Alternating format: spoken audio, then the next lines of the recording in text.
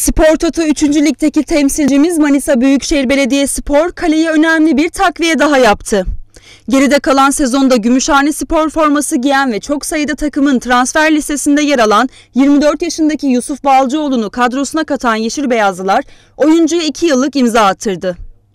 Takımının Afyon'da kamp yaptığı otelde gerçekleştirilen imza törenine Manisa Büyükşehir Belediyespor Kulübü Başkanı Mevlüt Aktan da katıldı.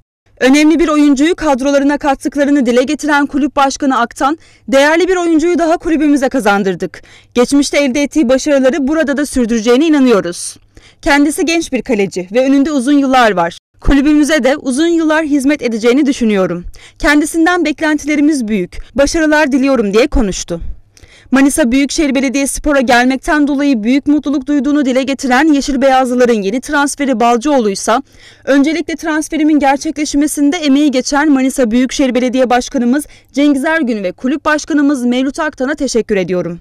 Benimle yakından ilgilendiler. Böyle güzel bir kulübe geldiğim için mutluyum. Bana sağlanan imkanlar için teşekkür ediyorum. Manisa Büyükşehir Belediyespor'un yeri kesinlikle üçüncülük değil.